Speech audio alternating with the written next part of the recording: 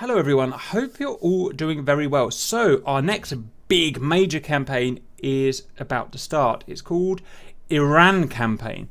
So I gave the brief. The, the main um, antagonists in this doing the work are Iron Wolf and Obi uh, possibly with help from other guys as well. And the original brief I gave them was the last really big, complex, dynamic, intelligent campaign we did was the coffee campaign. In fact, it's probably the only really fully dynamic campaign we've ever done. And the reason it's dynamic is because, say, on mission uh, 13, if you kill a certain SAM and a certain unit and a certain airbase, then that on mission 14, that damage is is is allowed for, and and we progress slowly through the campaign, and each the whatever you do on each mission influences directly the next mission, in, not just in terms of damage that you've done, but damage also that you've received. So if you've lost some aeroplanes, you've got less aeroplanes to play with. It was really good. It was the biggest and best campaign we've ever, ever done.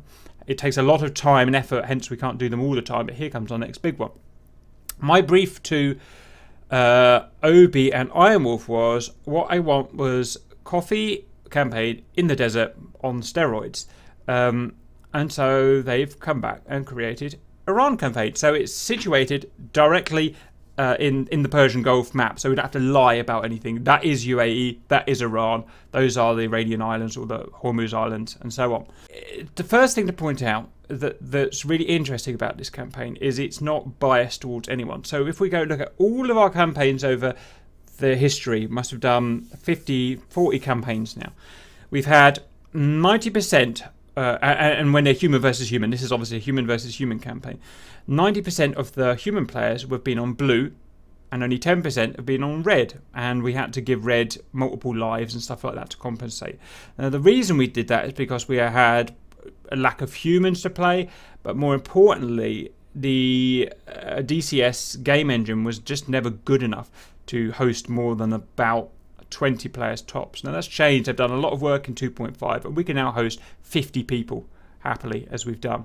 Um, so what we're now doing, and we've got no short of players, no shortage of players, and guys wanting to join now. Obviously, we've grown bigger. So what we can do now is have an equal amount of humans on red as on blue. So 20 guys on 25 guys on red, 25 guys on blue. And so that brings a whole new dynamic. And rather than the campaign being biased, biased towards the blue, towards 90% of players, it's now 50 50. Anyone can win this, and no uh, side will get uh, a benefit, if you know what I mean. Everyone's going to have it roughly about equal. Uh, things may have to be adjusted as it goes, but that, that's normal.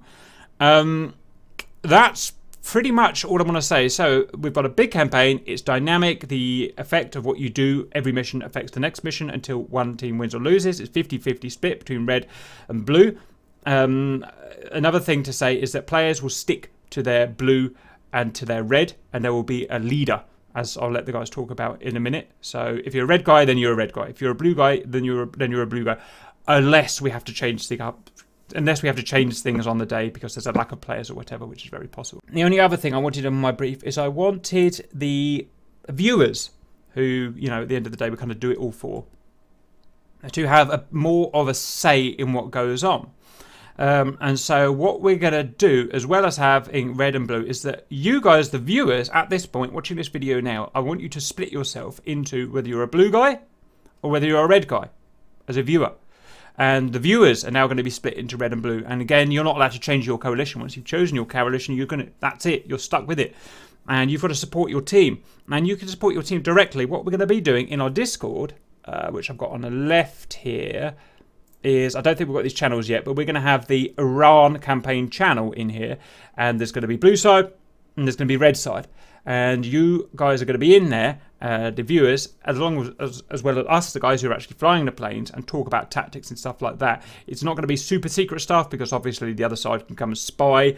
But generally speaking, that's how I expect you, the viewers, once you've decided which side you're going to be on, to come and interact with us to plan battles. That's the whole idea, to make it super uh, dynamic with us and with you, the viewers. That's the best we can possibly think of getting a campaign, period. Um, and that's it. Right, at this point, I'm going to hand it over to the bosses of the campaign, Obi and Ironwolf, to go into the nitty gritty, please, boys. Roger. Well, I'll let Ironwolf go through the list, but just to let everyone know that in Members Media, I'm sure you've all seen it, there's a link to this document so everyone can open it up at the same time and go through it at the same time. Mhm. And do you want to go through the um, Go for the with units. Yeah, just go through it point by point. Okay, so for the red units, we've got um, the MiG 21. They actually have the Chinese version of that, but we can use that. Uh, F5E, F14A. So we've decided to substitute the F14B, but restricted to the older weapons that uh, are as close as possible to what Iran has now. Uh, MiG 29A, which they got from Iraq when the um, first Gulf War was on. They flew them over. Same with the Su 25. It's not a T model, but just work with what we have. Uh, they have Mirage F1. Um, we're going to substitute the Mirage 2000 for that. Um, Su 24, MiG 23, and MiG 25, and F4 are all AI. Uh, a bit further down, you'll see we're going to offer some uh, capability to have AI missions going on at the same time. There's a bit of a trial. We'll see how they go. Um, Iran has some tankers. Uh, they have, a, I think, the world's only 747 tanker at the moment. Hmm. Um, and they have, I think, a 737, which is converted to Hose and Drogue. Um, so they will have tankers. Um, they have some UH1s. They have uh, Chinooks. They have loads, like 200 AH1 Cobras. Um, the JF-17's in there because Ir- Iran has been rumored to be looking to order it. Um, we're just going to pretend that actually happened, um, just to give a more advanced fighter to the red side, um, and a sort of opposing thing to the F-16, F-18 type aircraft. Um, AWACS, they got two from Iraq. They were flown over. One crashed in a very loud and grotesque way. Uh, but the other one is still, as far as we know, surviving. Um, so we're gonna we're going to emulate that with an E3 at the moment because, according to Obi, I don't know, can you confirm Obi, the Chinese AWACS does not work. Um, there is Yeah. actually a, a, a modded Chinese AWACS that's got Iranian markings on it and stuff like that, but um, apparently doesn't work with the Jeff. So, ironically, Yeah, that's So- E3 seems to be the um, the best one to use with the Jeff. I've- I've had trouble with the A50 as well. So Yeah, so to provide that data link capability and stuff, um, also Iran also has a pretty extensive early warning radar ground network as well, so that will also provide data link for the Russian jets uh, that have it. Um, blue units initially we're starting with F18C, F14B, AV8B, in a carrier group. Um, we're at on day one we're looking at it's got their four Mirage 2000s that won't be in there. Um, it'll probably be more like eight F16s um, that'll come from the UAE on loan, um, and then I'll talk a bit later about how, what happens with those. But they will have restrictions on them from day one. They have the AIM 120B and the AIM 9M because um, the Gulf states didn't start getting. We're looking at around 2006, mid 2000s sort of time frame for this because it seems to suit everything. Um, the first flight of the Jeff was in 2007, Pickles, pack it in. Sorry. um, and um, so those Gulf states didn't have. I don't even think they had AMRAAMs then, but we can't use AIM 7, so AIM 120Bs, AIM 9Ms. Um, that's the way it's going to go. Um, there's going to be a dynamic resupply system, so um, basically commanders will be able to order resupplies for the next mission, and um, those in the case of blue, those those units will be flown in uh, by AI in the next mission uh, and landed. And uh, if they make it, if they survive, if red don't shoot them down, they get them in the next mission. Um, obviously, then there's a an incentive there for red to get in and try and shoot those things down because that stops their resupply. Conversely, uh, red will have factories that blue can blow up and slow down their resupply. So they're just a bit harder to get though because they're obviously behind quite an extensive SAM network, whereas planes flying in the air are a little bit more vulnerable unless um, blue expends resources escorting them. So hmm Um, so what what we're saying here is each blue and red has a an elected lifetime mission commander, if that's the right word. Uh, do we have those guys in place now?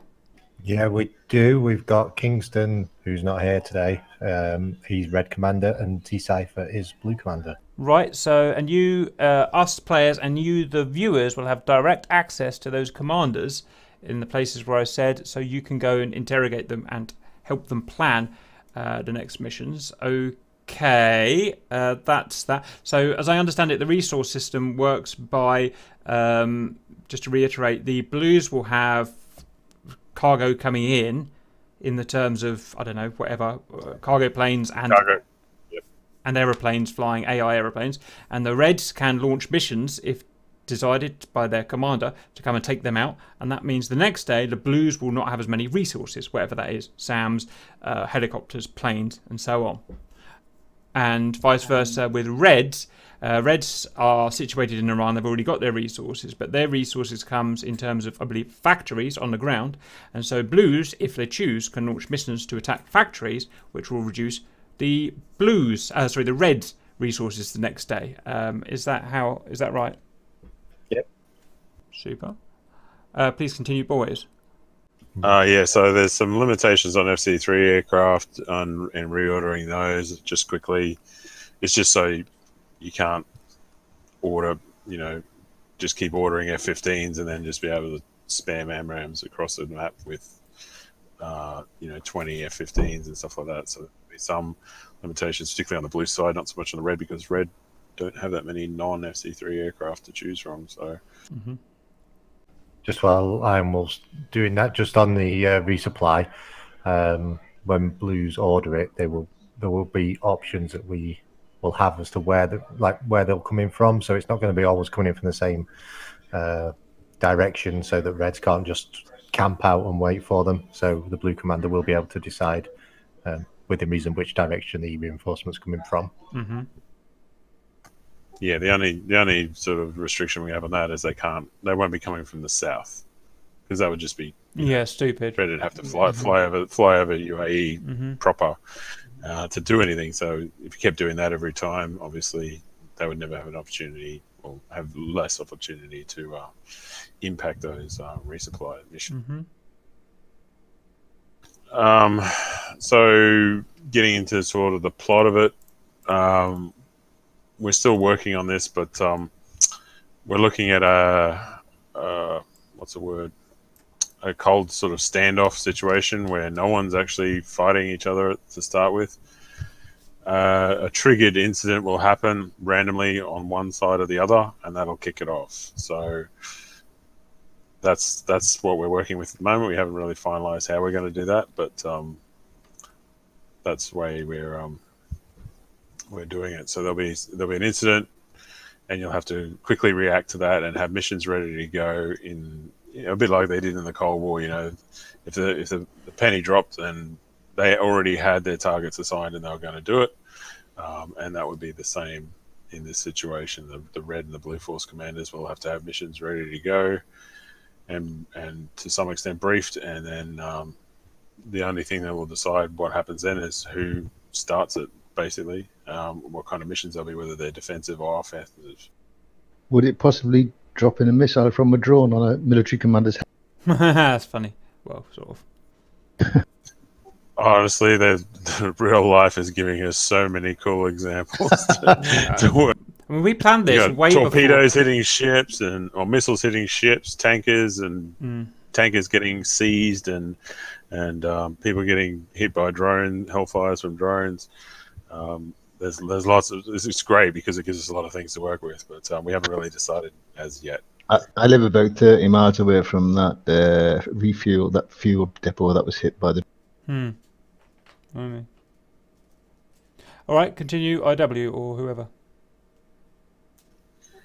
Uh, so now we're into the rules. So as mentioned previously, there's a permanent mission commander for red and blue. Um, we would prefer a permanent flight lead for each flight in their command, but we- understand we can't tie up that many people every da every mission, if you know what I mean.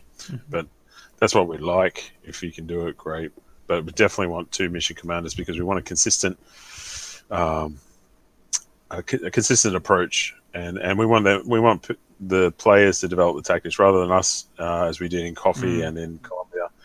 We come up with the missions, we come up with the taskings, and we come up with the flight plans and everything. Not that we don't enjoy doing it, um, but we feel that it doesn't involve you guys as much. So we Mm. wanted to push that back.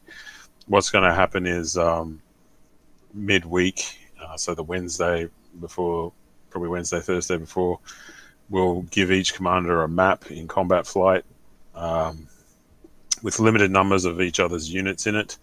Um, and then they will be able to plan missions from that. And we can then drop those in as waypoints for the different flights that, um, that can take waypoints, I guess, or that would find use from them. And we can generate knee boards and stuff like that, and have that all ready to go in the mission when it drops on Sunday, uh, Monday. So, but we want we want them to plan it, not us. Um, and they can use these uh, flight commanders if they want, um, or not. It's up to them, really. Um, as it says here, switching sides should be strongly discouraged. Obviously, we can't stop people doing it um, for whatever, or it may be necessary, um, depending on uh, how, however many turn up. But um, trying to keep everyone on the same side so they they all have a common common um, goal. Um, so it says it initially has what it has now in terms of uh, ground units. So SA10s, they have a bunch of SA15s and some older generation SAM and AAA hardware. So they have Shilkas, they have SA2, SA5 hasn't come out yet from DCS, but hopefully it will in the middle of this campaign some stage. Um, we've done a bit of a license thing because um, Iran actually has a pretty extensive navy, and some of it has you know um, ex-American as as with its air force ex-American stuff. So they have ships with harpoon missiles and stuff, for example. Um, that may be the A model, but nonetheless, it's still a harpoon. Um, so we've decided to, along the lines of the Jeff, um, stick in Chinese warships, and we've sort of played it along the lines of you know Iran wants to upgrade its navy, it's got to take whoever will deal with it, and uh, got these Jeffs out of the Chinese. The Chinese want more oil, so they're going to uh, do a deal with Iran with ships and stuff like that. So there's there's a bit more in here about um, what I mentioned earlier, so I'll probably skip over that. But basically, it's just a, an outline of uh, how the uh, mission commanders can order new stuff. So um, we're limited this to four or six, four to eight aircraft. That'll be now. Um, they do not add to the pool at the start of the mission; they add at the end. So if you um, if your pool of F-16s is zero and you elect to fly in six, say F-16s, uh, and they don't get shot down, you'll get six in the next mission, not in that mission, but in the next mission.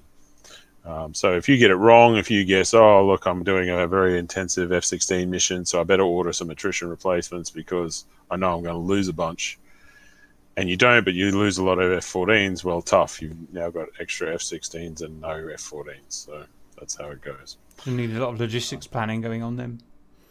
You need a bit of forward planning and a bit of. Uh, this is why sort of having fixed teams works well because you know which, are the strong teams and which are the weak ones, and you can order uh, replacements in um, in uh, line with those strengths and weaknesses. Um, weapons will be severely limited on the blue side, literally what a carrier group can carry, and resupplies will happen by air. So you won't have thousands of phoenixes on that carrier. You might have a hundred. You know, at this stage in mid two thousands, it was well, the last flight of the F fourteen was I think two thousand and five. So the Phoenix was already out of service by then. So we you know very limited supplies can be pulled from wherever to do this. So we're going to say you know maybe hundred Phoenixes.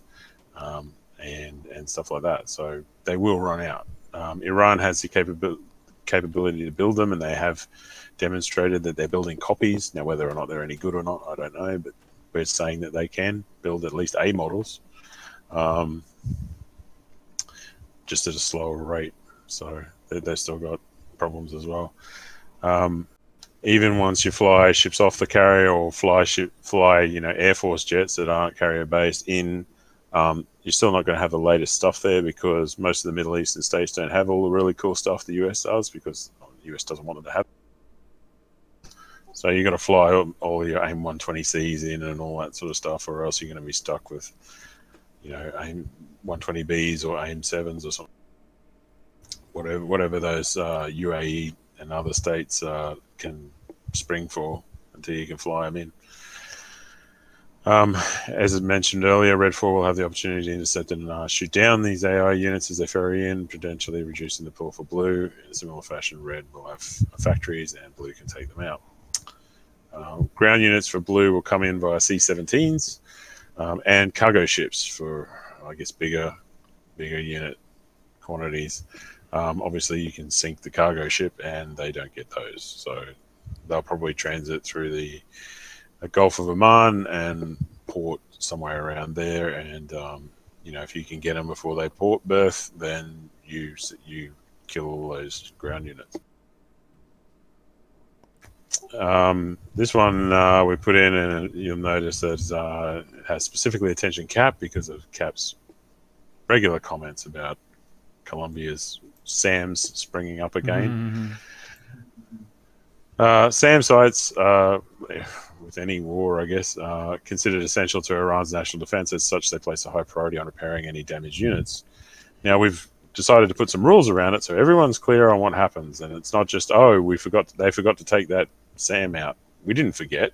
We just said they could repair it in two or three days and put it back again.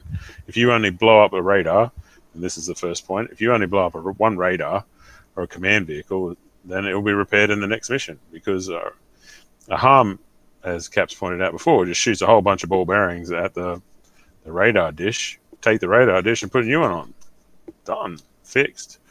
Um, and that was a problem with the harm, early harms in particular, and the Shrike before that, that it would only blow up the dish and they could replace the dish and it was back online in one to two days, uh, particularly if they carried spares. Um, similarly, if uh, two units are destroyed, then one will be replaced each mission and it may make the SAM site active. So if the, we'll randomly replace one of them, and if it's a track radar, it may be able to use its optical guidance to acquire and then fire uh, using its track radar. So that's how Cap got shot down a number of times. He'd fly past the track radar, and they would light him up. They would see him optically, and um, and then would be able to lock on and fire at very close range.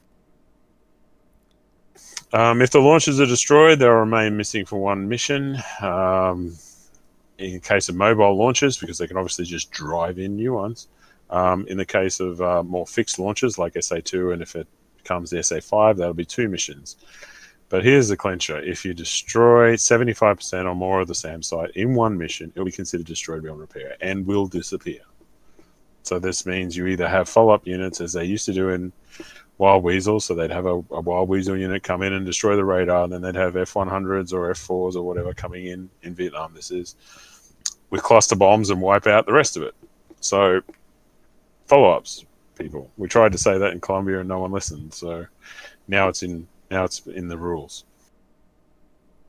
Same thing applies to, to to blue. So if red do the same thing, they, they shoot a Patriot track radar, and uh, it'll be back next mission unless they wipe out the rest of it. Um, there's another paragraph here about the uh, AI. We, as a trial, we're going to offer them and they can task certain units um, via. So, in the example of uh, red, you know, SU 24s or something like that. We might have F15Es, for example, for for uh, blue uh, to do particular tasks. They'll be done to the best of our ability, but we can't guarantee, you know, DCS isms, uh, what they're going to do. They might just return to base, give up. Who knows? They might wipe out everything. Um, we've set the map views to. This is going to be controversial, so we probably need to talk about this. To own aircraft only. The only reason we've done that is because um, it restricts the fog of war view to uh, tactical commanders and ground controllers only. A, it places more importance on those people, and um, B, the, the, it gives a better role for a someone taking over that tactical commander role to do mm-hmm. stuff with ground. I prefer it. And I've always campaigned and, for, for aircraft only, but I get so much pushback. Oh, look, you know, I'd like to have allies only and, and have the fog of war view as you've asked ED for, and I've asked ED for, and nothing seems to happen. Um, but we don't. So we're going with aircraft, own aircraft only. if you need to find each other, I mean, most aircraft have some sort of data link, or there'll be a ground controller or something to say, "Where's the rest of my flight?" I'm sure they'll be able to help you out if they're not too busy. Um, but keep an eye on each other. You're just going to have to be more responsible for your Mhm. own flights. Yep. You know, the flight leaders are going to have to be responsible for their own flight locations. And there might be, a, you know, opportunities there to do training in the training server and stuff to Mhm. train to do that, rejoins and and what to do and stuff like that. Pick up, you know, there's that mountain over there. Let's rejoin over that. You know, Mhm. um, ground units, we're going to have controlled only by the tactical commander, who will be able to see fog of war style stuff in uh, in this own aircraft mode. Um, so they can drive the, the ground units around. They can also act as a kind of JTAC and call in strikes and stuff like that. Um, in theory, they can get in the vehicle and actually lay stuff. I don't know if they have time to do that. And depends how many slots we open up because um, in the absence of dedicated tactical commanders, what will probably happen as people get shot down, they can jump in that tactical commander role and take over the ground units, and uh, uh, still under the the the uh, control of the main, you know, force leader, because you don't want to just drive all your tanks in to get slaughtered. So there's going to have to be some sort of command and control there, but I'll leave that up to the teams to work out how they want to do that. Um, some movement can be pre-programmed, so if they're like, you know, oh, I want a whole bunch of tanks to move over to here, we'll just do that for you, so you don't have to have someone driving them. And it- generally, if it's um, pre-planned, they don't rubber band as much. That's what we discovered in Colombia, at least. If uh, if if all the waypoints are set and they start moving before everyone gets in, generally they don't rubber band around too much. Um, again, that's a DCSism. Limited use of cruise missiles. Both sides really have them um, to some extent. Um, what we're interested to see is what's happening with the Scud B. It's come out. I know it's not really a cruise missile; it's a ballistic missile, but nonetheless, I guess the response to a, the equivalent to a cruise missile for the blue side would be, uh, you know, uh, sorry, the equivalent to a Scud missile for the blue side would be a um, some sort of Tomahawk strike or something along those. Initial star points. Um, the islands in the Gulf will be as per will be Iranian as per real life. I should mention that most of those islands are contested, so the UAE actually claims a lot of a lot of those islands, but just doesn't get into a fight about it. Um, so Iran, they say administers it, um, but essentially Iran says they own it. So um, that will be that will play a part in the initial sort of exchange, I guess. I think whoever controls those islands is going to control the straits, which is going to control how the play goes, particularly with naval battles and stuff like that. So I think that'll be very important, and there's going to have to be a strategy to take those islands, uh, assault the islands, and take them with force.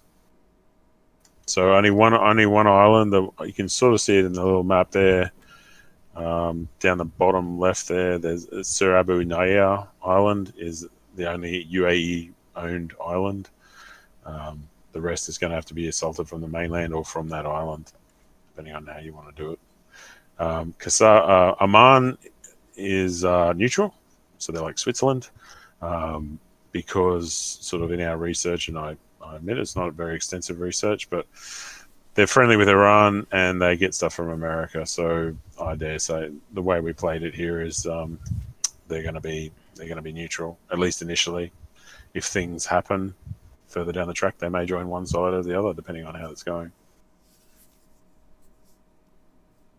And as Obi's indicated there on the map, that's the blue fleet starting position. So they're going to start at the entrance to the Gulf of Oman, sailing towards the straits. But at the moment, at least until there's control of those islands, there's no way the fleet would enter into there because they just get shot at from all sides by scuds and Mm. silkworms and everything.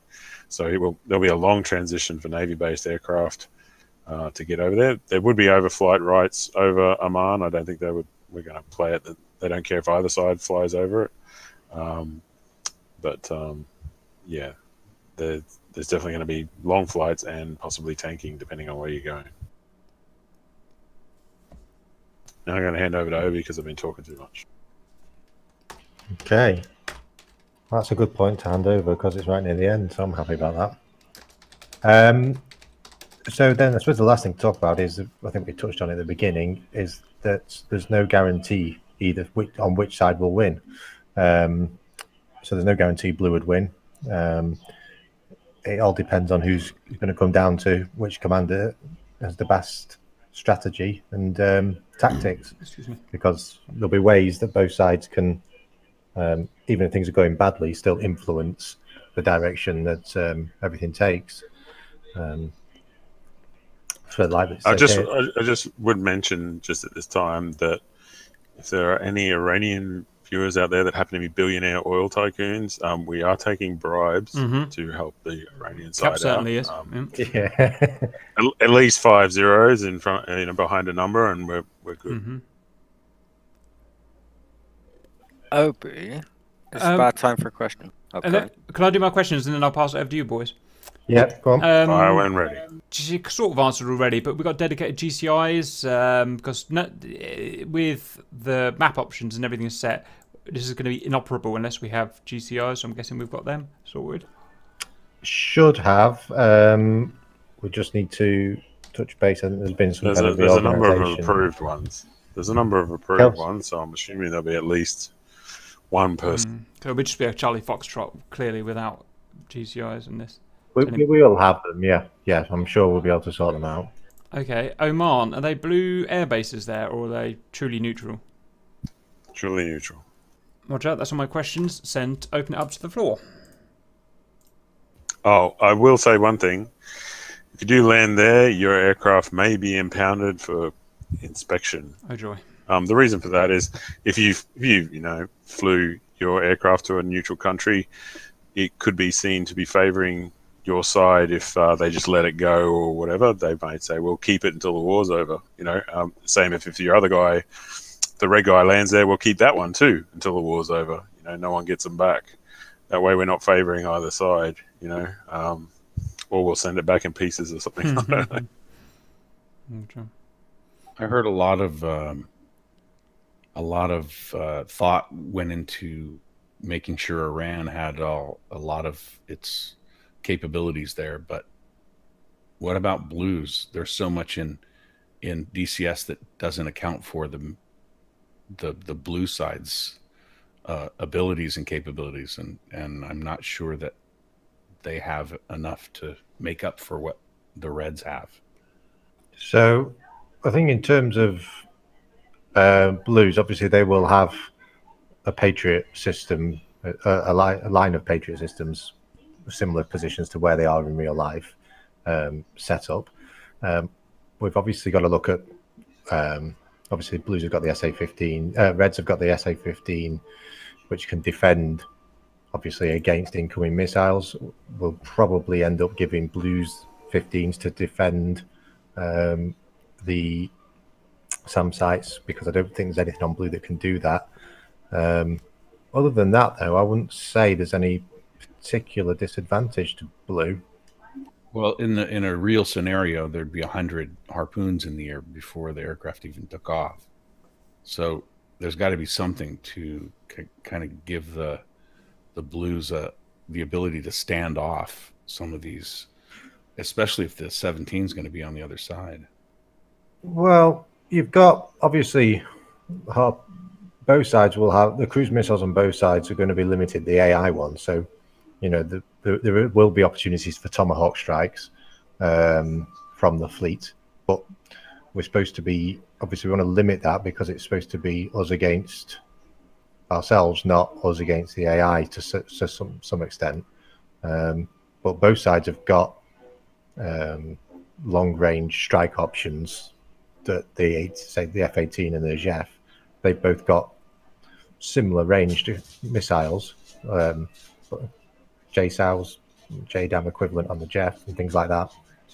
And the other thing to just bear in mind is that the the JDAM equivalent on the Jeff is classed as a missile, so that is always intercepted by uh, anti-missile stuff, whereas the Hornets JDAMs is a bomb, and that doesn't get intercepted. So there's various things that are working in the background that I think that equal the offensive capability of each side out.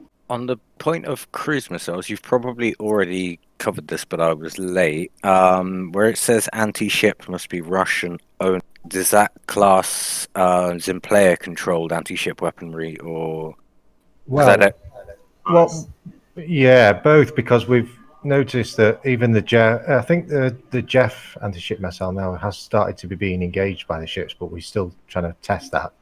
Uh, but we are aware. Are the the SU-25s alphas or tango? It's just without the without the um, SU-20. Well, the only two REDFOR units in the player-controlled list that actually have any kind of anti-ship uh, capabilities are the Jeff or the Su-25 Tango. But I don't know. It's not. Um, it's not highlighted there whether they're Su-25 Tangos or alphas. Yeah, and Tango. yeah, and also obviously you'll probably notice that the Viggen was absent completely from the list for both sides. Yeah. Bastards. That is, that is something that will come in later on at some stage, and probably at, at this stage, probably for both sides. Um, we don't want it right at the start because Seahorse would just jump in his Viggen and go and sink the carrier, which no one wants. You know, Yeah, it's just I can see anti-ship being uh, an incredibly critical part of Red's defense and Yeah, arsenal.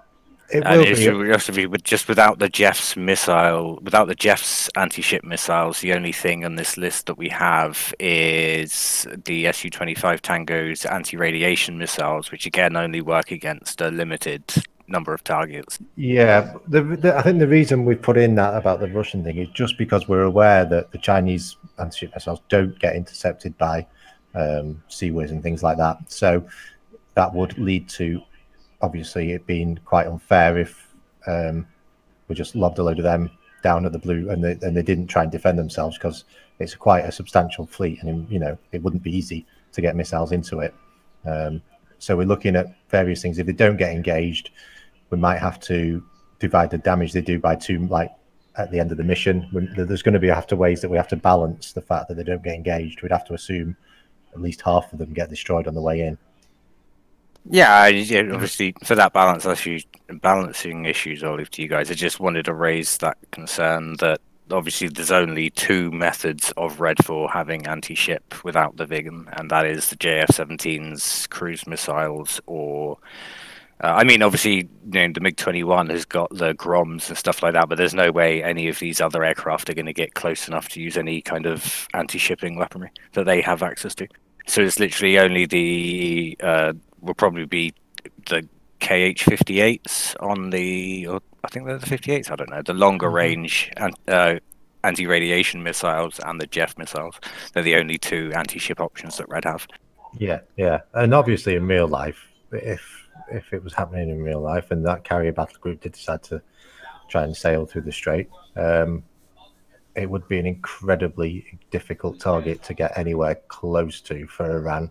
Um, so you know, if we were to hit the carrier or any of those escorts, it would have to be a very very special strike because it's it's designed, you know, it's, it's intrinsically designed to be very difficult to hit, especially by two or three planes at once. Yeah, I just uh, saw, saw the uh, restriction there. and I just wanted to query it because I didn't know because it's under the ground unit section, so I didn't know if that was ground units only or whether it was uh, like whether you're restricting the Jeff well. Yeah, that's that's um, that's my fault. I, re- I reorganized this to uh, for this presentation, and clearly, as I was reading through it, I didn't do as good a job as I thought I did.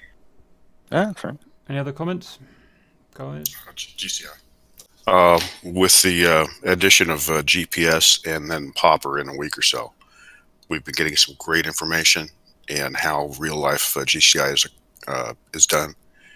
Uh, the document that uh, GPS provided yesterday is in in uh, GCI chat. Uh, flight leads will be there's going to be a lot less talking by G- GCI and there's some great pictures and things with regards to flight leads that uh, could be used in training prior to the uh, start of the mission. Regarding that, I don't think a majority of us have access to the uh, the, the the GCI chat. So you might have to put that file somewhere which is more accessible. Okay, I believe I put if I haven't done it already, uh, there's a duplicate in uh, G, GRTP under L, lot ATC hyphen ATC hyphen GCI. And I'll do that just sh- real shortly. Okay, guys. Um, just I just have a quick question. hmm How will we determine when one side is actually won? So, well, the ob- I think the objective for uh, both sides is to degrade the other side to a point where they can't fight back. When Um, blue has no assets left. Airframes, the airframe limits is normal for us. We normally get through quite a few, don't we? So I think And airframes That's the will currency. degrade. That's to the a point. currency here, isn't it? Yeah. It's all about getting rid of the other guy's currency, and that's that's it. Yeah, You give up. yeah. We, I say, I probably rephrase it: degrade the other the side's ability to fight a war in the air. So if the, if you can't fight any longer, then you know you're out. If only it might turns out that it only lasts a few weeks, and then we may give it another go and run it again. We'll see. Just just want to add there is another restriction that we haven't mentioned, but would seem obvious. Uh, there's no nuclear weapons. Mm. What? I'll jump. Sorry. Oh, one more thing for GCI. Send. We hope to have four, at minimum of four, uh, two for each side. Cool. If, if we don't have that because of people's work schedules, what have you, uh, expect that uh, whoever uh, succumbs first in the uh, missions should be capable and uh, prepared to jump in the F10 and fill those seats. hmm Um, I do have one thing about uh, helo units that haven't been mentioned. Um, Both sides are getting KA50 because, as mentioned, Iran has like 200 AH1 Cobras, and um, obviously the states would have either Cobras or Apaches. So we don't have any any of those in DCS at the moment, sadly. Uh, so KA50 is the gunship.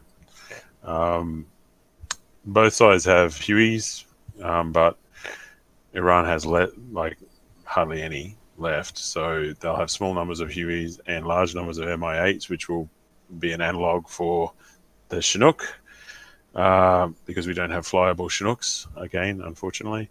Um, and conversely, Blue will have MI8s because they have Chinooks as well, but uh, they'll be lower in numbers just to counterbalance the lower number of Hueys on the uh, on the red side.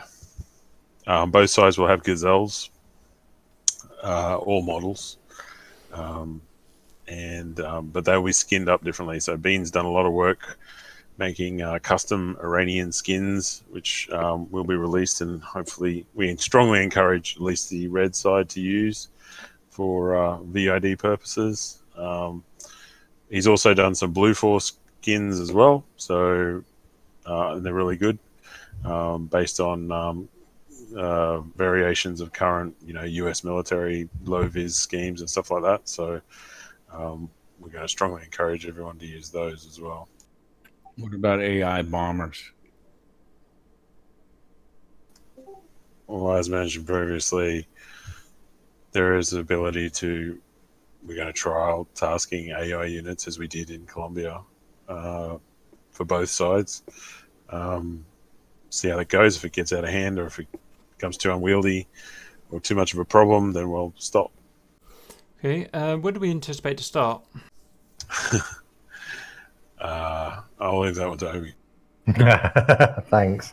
Um, I'd say the next week or so, really. I, I, but I don't, unless I'm putting um, pressure on Iron Wolf, I don't know. But I'd, I'd say, you know, not maybe not next Monday, the one after, um, and maybe in that between time, it might be worth a little bit Training. of workup training for both sides. Mhm. You know, Yeah, I've started on the F-16 training with the boys, so yeah, we'll start doing that. Yes, I think I think that would be a good idea. Actually, a bit of train up time, not only in just the, the jets themselves, but uh, you know, as I said, um, rejoin procedures, tanking would be a good idea for both sides. At least the things on the red side that can tank, um, and things like that. Roger. Okay, we'll get that done over the next week or so. Right, very good, guys. Um, that's that. Uh, we'll go and get on with. Oh, we'll need a uh, red and a blue suitable uh, briefing document set up, boys, as well, like we did for the coffee campaign, uh, as is relevant. So uh, don't forget that. Like a sign up sheet, you mean? Yeah, sign up sheet with uh, a, a red one's going to be separate to a blue one because you can have different tasks and ideas to to do, I suppose. Already we- done. Oh, When do we choose our teams? Yeah. When do we choose the teams? Can we just click in blue or red now? Well, we've already got Kingston's already put up are a again. document which people have been signing up to. Where's the Uh, Where is it? I'll drop it in members media now. There you go. What Just put in member member mission files so it's more like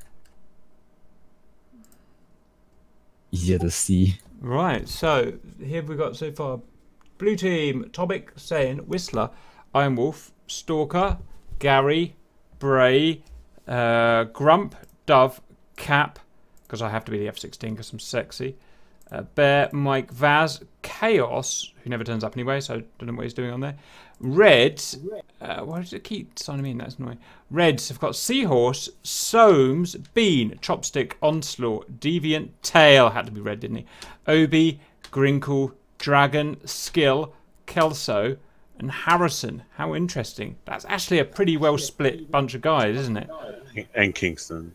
He's not oh, Aaron Kingston. I would just type him in here because he's obviously going to be there. Red for Commander Admiral General Al Kingston. there. Oh yeah, sorry, I didn't see that. Yeah, and just one thing on the split as well. Just we don't think we mentioned it earlier that Iron Wolf and I obviously having full access to mission file and, and of knowing we'll both know what both sides are thinking and planning.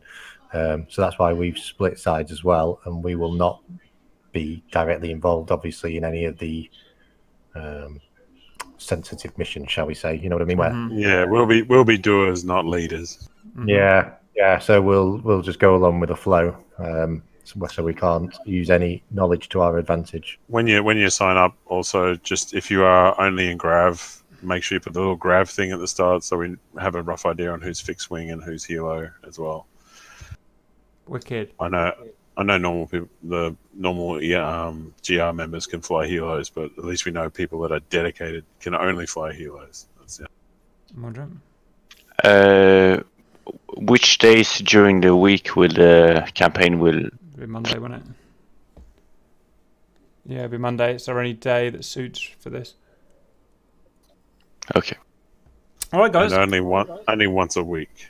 Yeah. Oh, yeah. this is not a. Uh, yeah, I'll probably do Wednesdays. I'll just uh, do um, you know cheap shitty little thing that I'll be doing. All right, guys. Um, we've got a lot to get done today. Thank you very much. Any final important thoughts before I sign off? Super duper. Right, I'm gonna go get on. I'll put this video out so people can see it. Uh, if anyone wants to do F14 learning slash training today, uh, it'll be in about half an hour after I've had lunch and put this together. Um, I'll see you guys in a bit. I'm just going to put this, uh, go on my own and put this video together and have a lunch, and I'll be back in a bit. Uh, see you later, Cap. Yeah. So,